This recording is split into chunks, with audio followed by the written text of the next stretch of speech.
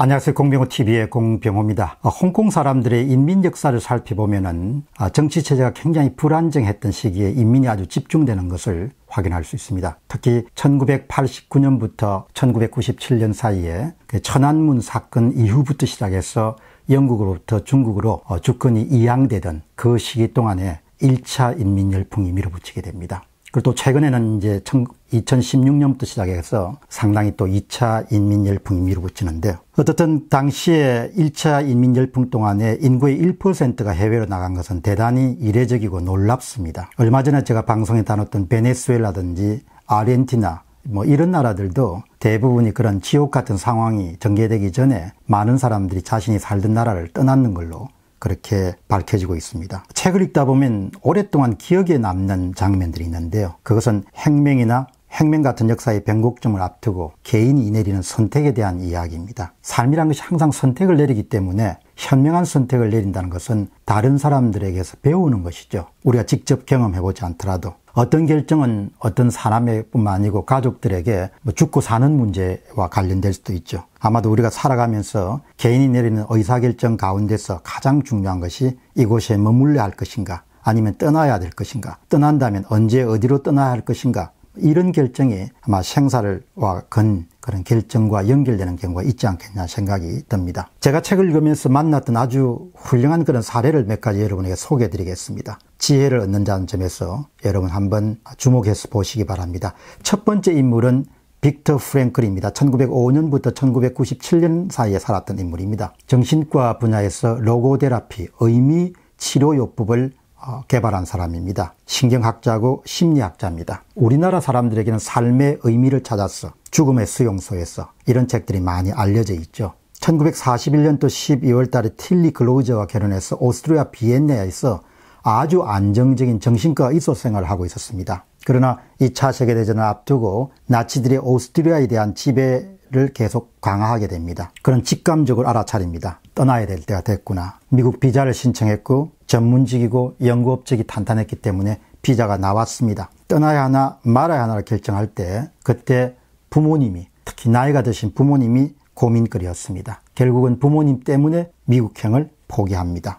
여러분이 자식이 아마 이와 같은 결정을 내리기 위해서 고심한다고 하면 어떤 조언을 했겠습니까? 그 당시 저는 책을 읽으면서 내가 부모라면 어떤 의사결정을 했겠냐? 자식에게 어떤 이야기를 해줬겠냐? 그런 생각을 해 봤습니다. 제가 부모라면 강하게 자식에게 떠나라고 맹할, 명령을 했을 겁니다. 그리고 이런 이야기를 덧붙였겠죠. 나하고 너 엄마는 살 만큼 살았다. 우리들은 어떻게든 살든지 죽든지 큰 문제가 없다. 너희들은 즉시 떠나라. 이렇게 했겠죠. 사실 이와 같은 것이 굉장히 현명한 결정입니다. 나이가 들어가면 장성한 자식을 두게 되면 생물학적 사명은 다 끝난 거죠. 아이를 낳아서 후세를 만들고, 예, 그러니까 언제 죽느냐는 크게 문제가 되는 게 없는 거죠. 자식을 낳았기 때문에. 1942년도에 오스트리아 유대인 게토에 수용됩니다. 44년도에 10월 19일 아우슈비츠 수용소에서 모든 가족들이 수감됩니다. 아버지, 어머니, 아내는 다 죽습니다. 자신과 여동생만 그 가혹한 아우슈비츠 생활을 견디고 살아남습니다. 음, 아버지가 그때 자식에게 힘을 실어줘야 되죠. 우리 세대는 그냥 이 정도면 됐다, 야. 떠나라. 야. 두 번째 사례입니다. 피터 드러크입니다. 1909년부터 2005년 사이에 살았던 인물이고 우리나라에서는 아주 잘 알려진 인물입니다. 경영학의 대부고 유대인이고 젊은 날 프랑크푸르트의 General-Anzeiger라는 아주 유명한 신문사에서 기자 생활을 했습니다. 1931년도 20세부터 1933년도 24세까지 일을 했습니다. 그가 독일 신문사에서 일을 할 때 나치당이 힘을 얻어가던 시절이었습니다. 2000, 1924년도 독일의 나치당은 3%밖에 차지 못했습니다. 유권자의 표를. 32년도에 불안과 더불어서 33% 표를 획득합니다. 1933년 1월 달에 히틀러는 독일 정부의 최고 지휘인 수상에 임명됩니다. 독일인들은 불황을 타개할 수 있는 위대한 지도자가 나타났다. 이렇게 열광했습니다. 그 합리적 민족이 완전히 미쳐나가는 겁니다. 일당 독재, 언론 자유 금지, 대학에서 유대인 교수들을 다 내쫓는 겁니다. 모욕을 하고. 그 젊은이는 24세였지만 굉장히 현명했습니다. 떠나야겠구나. 1933년 1월 31일 날 신문사에 사표를 내고 영국으로 떠납니다. 떠나는 날 그냥 저녁에 내일이면 떠나는데 그때 한 인물인 동료 신문사 기자가 집을 불쑥 방문했습니다. 놀랬습니다. 피터 드러크가 훗날 나치 비밀경찰의 2인자까지 오르는 hen슈란 인물입니다. 신문사 동료입니다. 드라크한테 권합니다. 그냥 여기 남아서 우리 출세 좀 하자. 드라카가 권합니다. 30세고는 아직 젊고 학위도 있으니까 외국을 가서 새로운 생활 시작해라. 헨슈가 나는 비난한 집안 출신이고 이 자리까지 오는 데가 굉장히 어려웠다. 나치의 끈을 잡고 출세를 해야겠다. 그렇게 두 사람의 운명이 달라집니다. 헨슈는 1945년도 거의 전쟁이 끝날 즈음에 플랑크플루트에서 예, 공군 폭격기를 받고 죽었습니다. 드라카는 1933년도에 영국에서 돌아가서 은행에 취업을 하고 그 다음에 37세가 됐는데 도리스 슈미트와라는 여자하고 결혼해서 미국으로 이주하게 됩니다. 드라카가 독일에서 아마 영국으로 이, 어, 이주를 1933년도에 이민을 가지 않았으면 아우슈비츠 행을 당했겠죠. 뭐 인생이라는 것이 그렇게 한순간에 어떤 결정을 내리냐에 따라 가지고 엄청난 게 달라지죠. 앤드류 글로브라는 인물 소개해드리겠습니다. 1936년, 2016년까지 살았던 사람입니다. 오늘 우리가 컴퓨터 쓰는 인텔의 공동 창업자입니다. 헝가리 부다페스트 출신입니다. 아버지가 제조업했기 때문에 어린 시절에 유복했습니다. 그러나 헝가리가 공산화가 됩니다. 나치를 피해서 살아남았더만 그 다음에 또 닥친 게 또 공산화된 겁니다. 중고등학교를 다닐 때 생활이 어려워지니까 어머니가 목걸이를 팔아가지고 영어 과외를 시킵니다. 어머니가 판단을 했던 거죠. 아이한테 영어를 가르쳐 앞으로 살아남을 거다. 20세 대학 1학년 때 1956년 헝가리 부다페스트에 헝가리 의거 예, 공산주의 반항하는 그런 운동이 발생하게 됩니다. 그때 아버지가 아들을 부릅니다. 간편하게 차려입고 미국으로 가라. 예, 그래서 헝가리 국경을 넘어서 오스트리아 비엔나까지 도착하게 됩니다. 오스트리아 비엔나에서 국제구호위원회에서 아르바이트를 합니다. 어머니가 물려준 유산이 영어죠. 영어를 좀 잘하니까 그냥 도장을 찍어줍니다. 그래서 할머니가 계시는 외할머니가 계시는 뉴욕을 가서 아메리칸 드림을 이루게 되죠. 학비가 전액 무료인 뉴욕 시립대학에서 화학을 공부하고 UC 버클리에서 화학 공학 박사를 땁니다. 많은 돈을 번 다음 2005년 10월 달에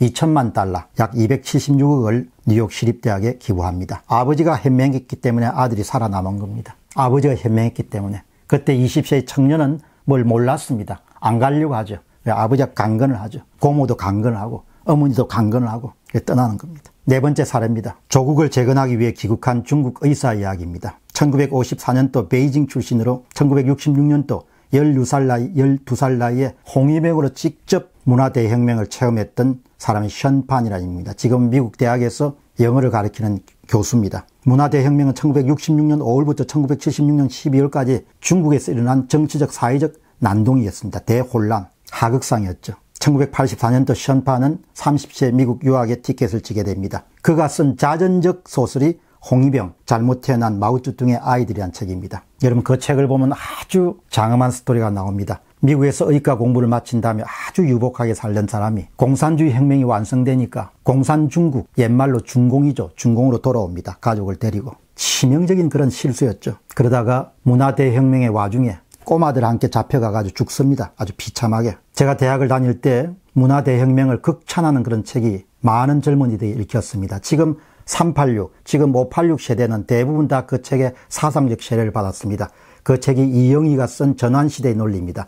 저는 그 대학을 다닐 때 뭘 몰랐지만 그 책을 읽으면서 그냥 집어 던졌습니다. 저는 그 읽을 만한 가치가 없다고 생각했습니다. 훗날 한 번도 이영희 씨는 살아생전에 자기가 문화대혁명을 찬양한 것에 대해서 반성 안 했습니다. 자기가 정보 양이 부족했다고 하죠. 그럼 일본을 가장 잘 파악한 국화와 칼, 예, 한 번도 안 가본 문화 인류학자가 미국 문화 인류학자가 쓴 책이거든요. 지식인들은 직접 경험해 보지 않더라도 인간의 본질과 집단의 본질을 이해하면 충분히 전체주의, 문화 대혁명이 난동이라는 것을 알 수 있어야 되는 거죠. 딸 두 명하고 아내가 보는 앞에서 끌려갑니다. 질질질. 조국을 위해서 그 귀국한 의사가 그러면서 아이들 함께 액을 합니다. 나는 나도 혁명가란 말입니다. 위대한 지도자에게 봉사하기 위해 미국에서 왔어요. 위대한 지도자가 나를 초청하였습니다. 이렇게 외칩니다. 비참하게 죽죠. 전체주의가 원래 그런 겁니다. 자유가 그렇게 소중한 겁니다.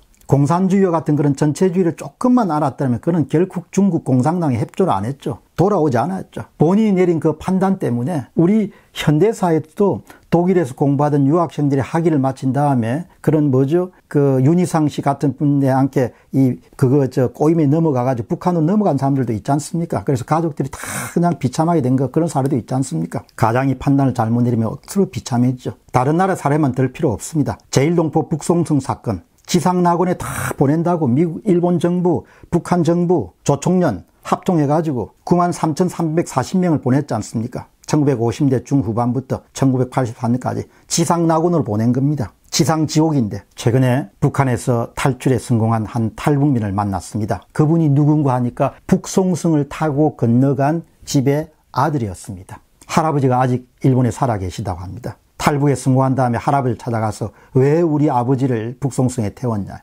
장남은 집을 지켜야 되니까 차남을 보낼 수밖에 없었다. 미안하다. 미안하다. 미안하다. 미안하다는 말로 해결이 될 수 없는 이야기. 지도자가 무지하고, 지도자가 오판하고, 가장이 무지하고, 가장이 오판하면은 식솔들이 다 고생길로 들어서는 겁니다. 어떻게 여러분들 그런 공산주의 체제가 지상 낙원이 될 수 있냐 이야기. 그런 오판 때문에 가족을 멸망의 길로 보낸 거죠. 1945년부터 1953년까지 8년간 북한을 탈출해서 남한으로 넘어온 사람이 140만 명입니다.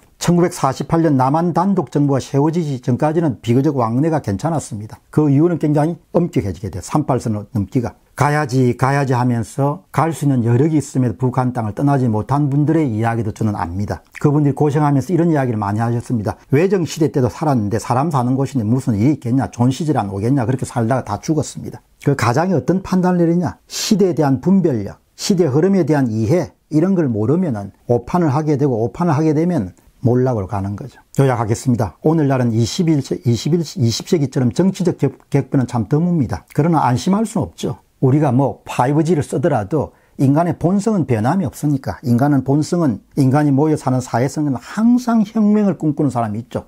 아주 잘못된 혁명을 꿈꾸는 사람, 아주 엉뚱한 혁명을 꿈꾸는 사람, 아주 비참한 혁명을 꿈꾸는 사람들이 있죠. 이 사람들은 항상 정치 변혁을 꿈꾸게 되죠. 자신이 원하는 꿈을 달성하기 위해서. 그 정치적 변형을 꿈꾸면서 선전 선동들이 굉장히 능하기 때문에 어느 순간 어떤 사회의 멀쩡한 사람들을 옛날에 히틀러 치하에 독일 국민들이 쏘았던 것처럼 대중들에게 호소력이 있는 그런 선전, 선동, 이벤트, 이미지 조작을 통해서 일거의 사회를 뒤집을 수도 있고 점진적으로 사회를 뭡니까? 변질시킬 수도 있는 거죠. 체제를 바꾸는 겁니다. 체제를.